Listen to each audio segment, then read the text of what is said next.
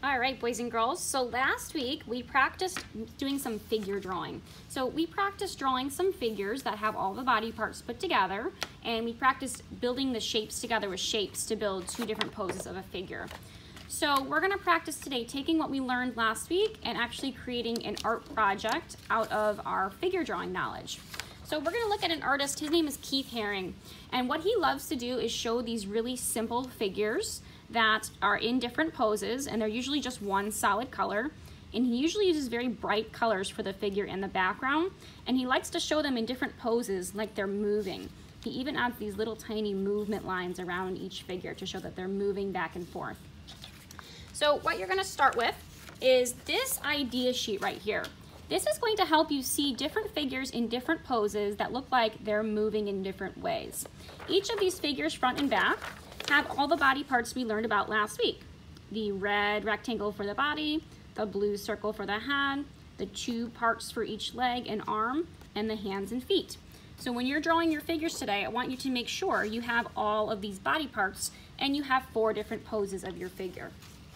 So what you're gonna start with is your white paper and you're just going to kind of put a line down the middle and a line down the center to cut this into four boxes.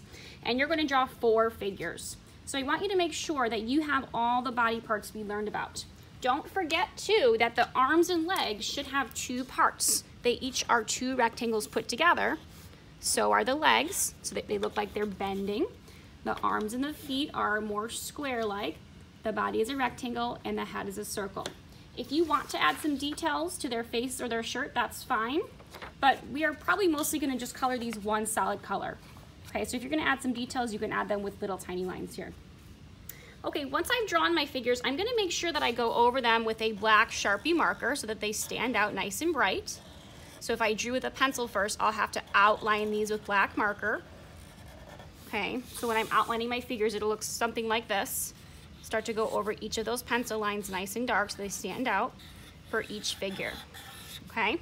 So once I've drawn four figures and I've outlined them nice and dark with my Sharpie marker, I'm going to choose some oil pastel colors from the bins to color each figure. So remember, each figure is just gonna be one solid color. So I'm gonna try my best to get each figure just one solid color. And I'm gonna try and make each of my figures a different color so that the background can also stand out against the figure. Nice bright colors like our artist Keith Haring. So I'm gonna try my best here to keep my coloring nice and neat inside of my shapes, not outside my shapes. I'm gonna take my time and go slow, get all the white spaces covered. Okay, so once I've colored all four of my figures, let's just pretend I chose a different color for each figure. It's going to look something sort of like this. Each figure is a different color. Then we're gonna paint the background with watercolor paint. So if this figure is done, and I've finished painting all my other figures, at my table I'm gonna get my watercolor paint and my water cup, and I'm going to choose a color for the background that is opposite. So blue is a very dark color, so I don't wanna pick purple, black, or blue for the background. I'm gonna pick one of these brighter colors, like red, orange, or yellow. So I dip my paint brush in the water, get a little bit of water on my watercolor palette here, mix it up, mix it up, so I've got some paint on my brush, and then I'm just going to paint the background around the figure. So see how nice that blue stands out against that bright orange background. If I would have painted the background blue, this figure would not have stood out against the background very well. He would have blended into the background. So I wanna make sure I pick opposite colors, light and dark colors against each other.